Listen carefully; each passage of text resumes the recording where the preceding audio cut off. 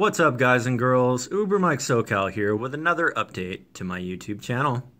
In today's update, I'm going to be going over the topic of Uber's self driving cars, the automated cars, and the future of Uber. Is Uber going to replace drivers with 100% self driving cars and cut them out of the equation entirely? In my opinion, that is the goal that Uber is trying to do, and not just Uber Lyft is trying to do this as well.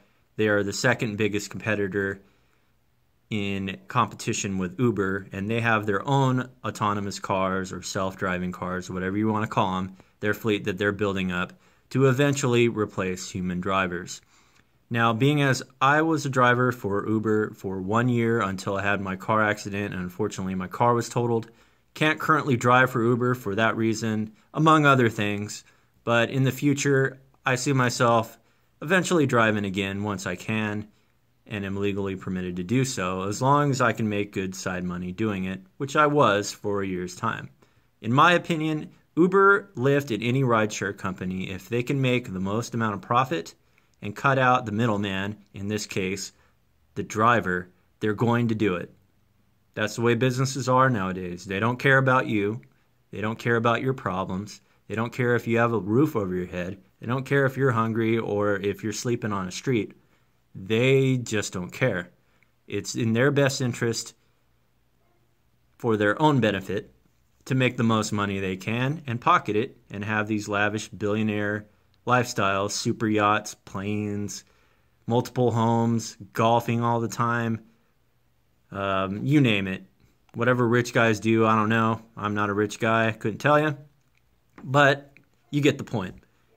Is Uber and Lyft eventually going to replace the drivers with all automated cars? The answer is yes. It's sad. It's going to happen.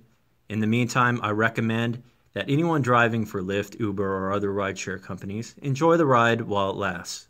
Get all the money you can to help you and your families. If you have no family, whatever, to help yourself make the most money you can. I've made several videos on my channel of Uber Mike SoCal that'll give you some tips and hints of how to do that free of charge. You can always check those out, but in the meantime, just realize that this future is coming sooner than later. I personally don't like the idea of automated cars. Made a video about how they can be hacked, how they can slam you into a wall over an overpass, and a multitude of other bad things that could happen without human input to override these things. So it's sad that companies want to outsource or eliminate jobs completely for benefit of their own bottom line, but this is the world we live in, people. I'm not here to tell you all the good news in the world. I'm here to tell it to you straight. Just see it where the truth is and what's going to happen in the future. Recommend work that part time or full time, whatever you're doing for your ride share. Get that little extra bit of money, but have plan B, have plan C, plan D. Eventually, autonomous cars are going to be the way of the future. It's going to happen. We'll see how it pans out, but definitely do all you can to enjoy the ride while it lasts. If you like this video, leave a like. Leave a comment down below. What's your experience with Uber or Lyft or whatever company you drive for? Has it been good? What were the bad things? Leave the comment down below. What do you think about autonomous cars, self driving cars? What's your thoughts on it? I'd love to hear it. And finally, if you have not subscribed to the channel, hit the little red subscribe button in the bottom left-hand corner.